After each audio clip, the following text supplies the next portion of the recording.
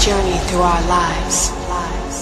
In this big, small world, we shall walk side by side.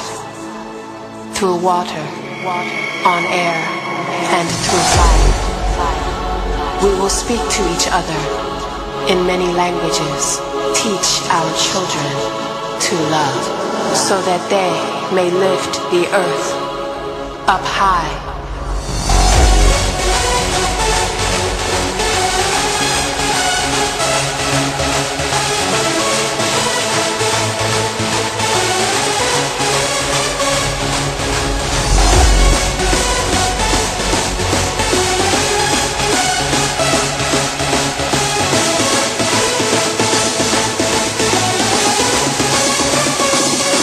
Lift the earth to unfathomable heights, into a brand new day.